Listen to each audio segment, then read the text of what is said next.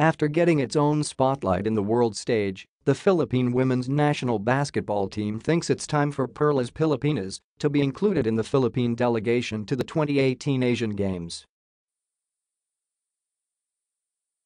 Well, we're hoping that they could finally notice us and give us a chance and maybe get us into the Asian Games in the last minute, said head coach Pat Aquino in Filipino Sunday at Philippine Arena after Perlas lost to Hungary 18-15 in the group stage.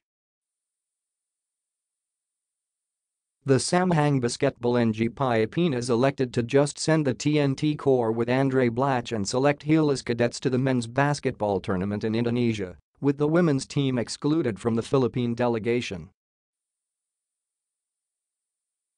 You never know. Well they say what we did here was an eye-opener, and maybe there will be call from SBP let's include the women's team, added Aquino.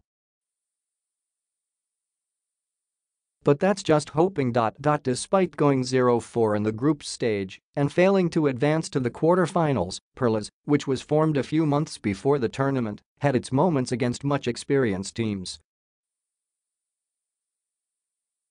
Afril Bernardino was the first to show up for the Philippines in a 12-10 loss to Germany. Then, it was the Janine Pontejos show in the Philippines' last two games. She hit five long balls for 13 points in a 21-17 loss to Spain. The crowd gave me the energy, and every time I made a shot they would all scream, and of course when that happens my defense also improves, said Pontejos in Filipino.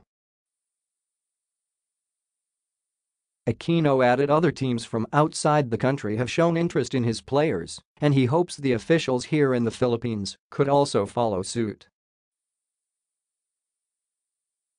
Bernardino, Gemma Miranda, and Allana Lim played as imports in Malaysia a few months before the 3x3 World Cup, and the three are set to return for another run. Apart from her Malaysia stint, Bernardino also received an offer from a university team in Taiwan to not only play there, but also study for a graduate degree. Afril could stay there, study and play there professionally, said Aquino. This is also for the future of Afril, so I'm hoping more can be invited because Perlas can't just play here in the Philippines but also outside.